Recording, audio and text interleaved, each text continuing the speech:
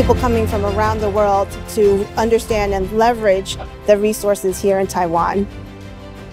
And I'm incredibly impressed at the level of engagement and the expertise and knowledge that is here. The landscape's really exciting in terms of new technologies. Now, how do we make that happen? Exciting it is to be here at BioAsia. Uh, there's clearly a vibrant ecosystem uh, from all the discussions I've had. I think the event is very professional, uh, very good, uh, very well organized.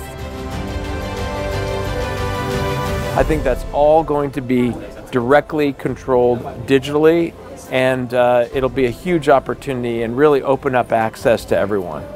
It's not about having a good drug, it's about addressing an identified market opportunity and having a solution to that problem. For uh, in general, a big picture, the global picture, uh, looking at from the Asia Pacific region, that is a growing area. Now the development of biotech in Taiwan is getting better and better, stronger and stronger every year.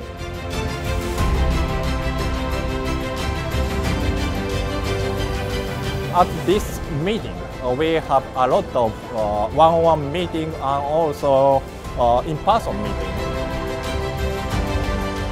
あのぜひあの我々もですねあの日本の政府機関の一員としてですねえ台湾の企業さんとコラボレーションをですねどんどん進めていきたいと思いますんでえ今後ともよろしくお願いいたします今 AI あの非常にブームだし今後もまあ発展していくだろうし特に台湾はあのセミコン半導体強いからですね台湾には一番こうマッチしてるビジネスなんじゃないかと思って注目してます。